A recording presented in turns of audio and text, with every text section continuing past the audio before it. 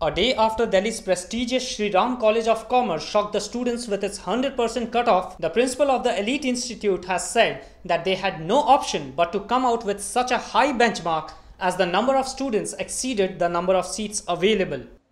SRCC has announced 100% cutoff for its BCom honors course for aspirants from non-commerce background. Students are more over a period of time, but centers of excellence have not increased in the same proportion in the country. As a result of that, what happens that you have 100 seats and students are 200 suppose. Then what will increase? Seats are not going to increase, the only cutoff is going to increase. The move, however, has not gone down too well with some of the university professors and the management. Dean of Students Welfare says that the cutoff seems to discourage young students. Uh, ये बहुत ही I think unrealistic तो कहा ही जाएगा क्योंकि ये non commerce student के लिए है मैं नहीं जानता क्यों उन्होंने ऐसा किया, शायद वो ऐसा लग रहा है कि साइंस स्टूडेंट्स को डिस्करेज करना चाहते हैं।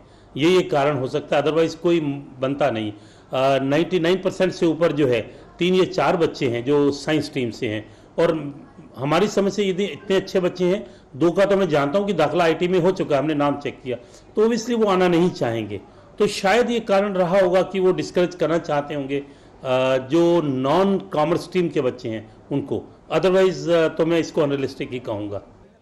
The high minimum marks posted by colleges as entry criteria has students worried. डर लग रहा है क्योंकि इतना ज़्यादा हाई कट ऑफ़ चला गया है कि अब बहुत ज़्यादा डर रहा है। अब सेकंड और थर्ड कट ऑफ़ के वेट हो रहा है बस अभी तो। वेट करे वो कह रहे हैं आएगा। तब आएँगे फिर से। वेट ही कर रहे हैं। वेट ही कर रहे हैं।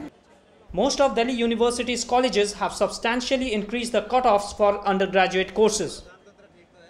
The aspirants are expected to have scored between 95 to 99% to get admission in the sought after colleges. CVB News, New Delhi.